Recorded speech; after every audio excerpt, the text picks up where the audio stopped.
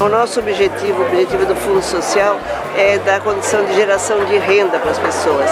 Então a gente procura ver a necessidade e aquilo que eles nos propõem a gente procura atender. Isso é muito importante, além da, da, da geração de renda, a autoestima para a pessoa, que isso eu acho isso de muita importância.